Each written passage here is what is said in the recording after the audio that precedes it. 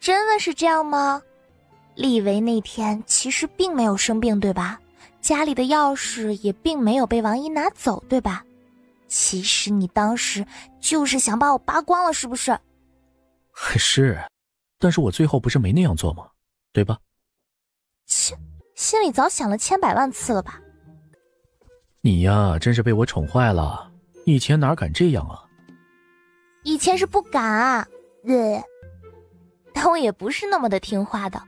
以前你每次训完我以后，我心里还都是会回顶你几句的，比如说你老啊，说你坏啦，嗯，说你粗暴又野蛮啦，总之还有很多很多。现在你想骂可以直接骂出来，不用憋在心里了。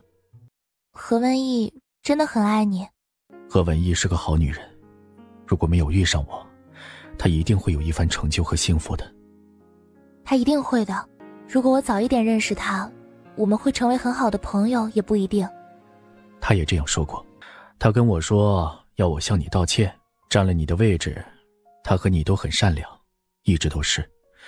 从我遇上他，他一直对我都很好。感觉出来了。如果不是爱你爱到不可自拔的地步。根本不会在出车祸时本能的一把将你推开。嗯，好了，不说他了，时间不早了，我们走吧。